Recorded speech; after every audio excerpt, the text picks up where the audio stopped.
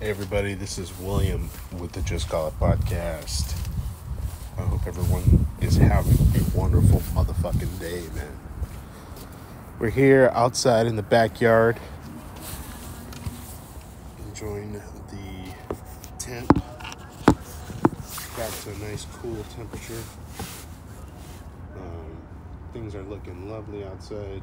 Nice cloudy day, which I love. Overcast you know, since I'm from the Bay Area and uh, grew up in the peninsula, it's in Daly City, it's basically fog town, as they say, and it's completely foggy every freaking motherfucking day. So if there's a day of sunshine, it's beautiful and it's much appreciated, but it's been so freaking hot lately, and I guess 2025 is on the record to be one of the most hottest years, man. I just heard that on the news today. Uh, a couple, actually, a couple days ago.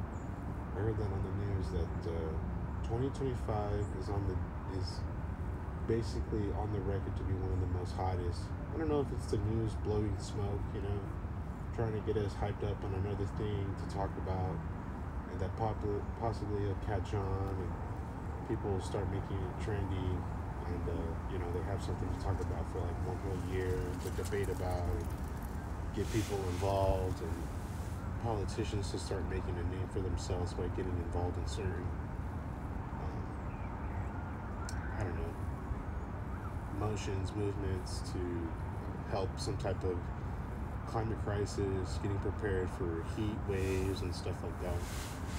So, yeah, man, it's uh, it's been obviously a crazy week. You know, all the politics that's been going on. It's uh, November thirteenth it's been a week or two, I think about a week almost, since the new elections, and basically everybody forgot about Biden. There's a picture out there of uh, Joe Biden meeting Trump in person, which is pretty funny because Trump has a horrible, pissed off face, and Biden is just smiling. I don't know if that's just dementia kicking in where you're just like always on like bliss. Um, but yeah, man, it's been crazy about the politics.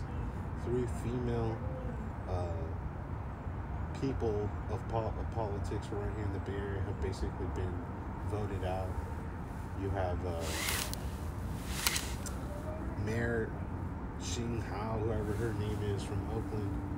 Uh, Mayor London Breed got uh, voted out and then Pamela Price, I think she's city council or something, district attorney. She got voted out. Uh, those are three powerful people that got voted in not too long ago, man. And there, were, you know, was a lot of hope for those people because they were the first females.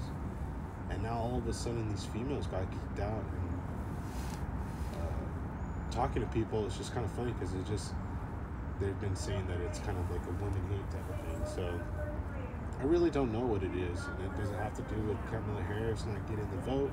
Who knows, you know?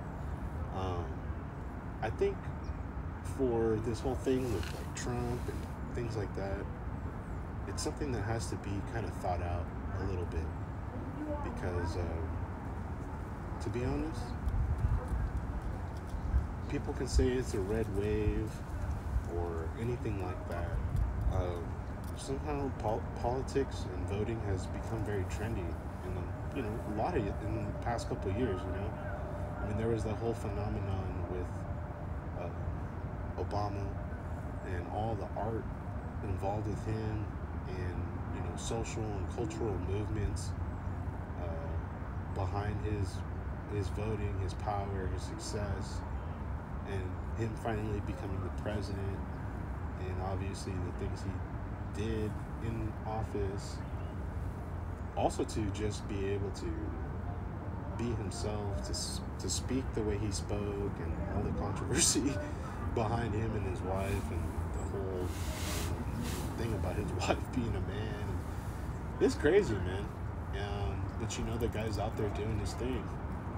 And uh, everything is like a, a, social wave, you know, especially when the youth catch on and uh, tons of people were voting for Obama. And now, when you look at a lot of colleges out there, you know, a lot of them have Trump attire going on. You know, they have Trump gear. They have the merchandise now. You know, And before Obama was basically like a sticker. It was, you know, if everyone remembers, it was the red and blue sticker face, very iconic. Um, which basically it's almost like an art for Americans because it's so uh, iconic, and then it's like an archetype. You know, it's visually people know what that painting was originally associated with. So even people have done their own renditions of that type of art with different people's faces instead of Obama's.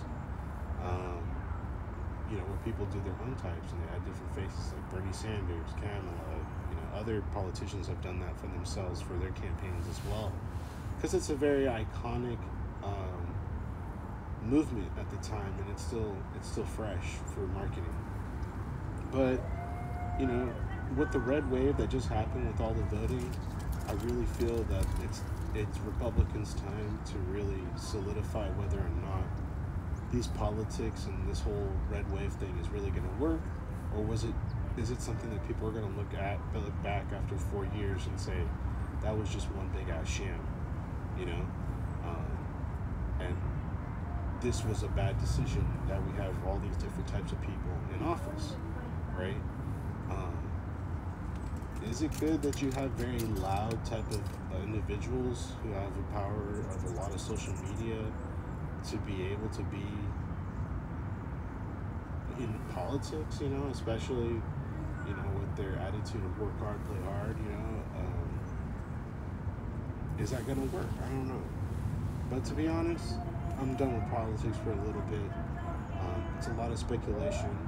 I'm more of a person that's just to look more towards the future and see what all this is to come out to be. Um, and like I said, this this type of thing right now with politics really has to go with um, what the Republicans are prepared to do if they really want to solidify their politics and their movement. Well, they have to really work hard these four years and literally convince the world that uh, they did some great things. So we'll see. This Friday is going to be one of the most biggest boxing matches in history. And a lot of people do say that. You know, a lot of people do say that. And then you got to think about it. I mean, I'm no television history expert, but if you kind of think about it, man, it's going to be pretty big that this is going to happen in history. That you're going to have, you know, one of the best boxers in in history in their 60s fight somebody who is really young in their you know, 20s or maybe even early 30s. I have no clue how old Jake Paul is, but you know, it is it is pretty crazy if you think about it. Now, what I mean by television history, I mean some of the people who can think back who are some of my listeners, there used to be HBO boxing or pay-per-view boxing where, you know, if it was a big boxing match, you would pay for it and you would go get a box from your cable guy or something like that and go put it on your TV and go watch this thing on your television, right? And then eventually you can just order it on your television with a click of a button, but you'll get charged, which is basically what we still do to this day, right? But that's kind of how it was back in the day. Or you had to have a, a, a TV back then or something like that. You know, it just changes and changes all these remarkable sporting events that happen, right?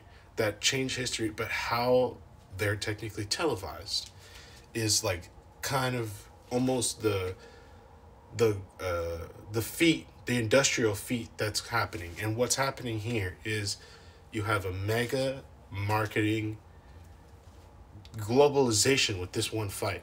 You know, while Mark Mark, uh, you know, while like people who are involved in Netflix, they're probably sitting pretty right now and getting ready to launch, you know, a soft experiment. Basically, how is Netflix going to change the game? How is the streaming network going to change the game? Something that's fully versatile, like Netflix, that has all types of things where you have shows, live events, and now you're going to have sporting events. It's going to be insane. And yeah, do a lot of people already have Netflix? Sure. Okay. Do a lot of people also have uh the need now to go and buy Netflix? Is Netflix going to go for that? Of course, they're going to go for that. They're going to go for new membership. But what this is going to do, it's going to be like a global takeover in streaming. You're going to have millions of people watch this all over the world. It's going to be amazing, you know? It's going to be something that changes. Has Mike Tyson probably broke the records in pay per view and money with this? Probably, or something like that. But this is going to be amazing. And how Netflix makes money is probably just the amount of views and attention they're going to get. And get a lot of people to buy in the membership. Um, it's going to be great. Um, now, I'm just saying that because it's going to be a crazy because, you know, are people going to go to the store?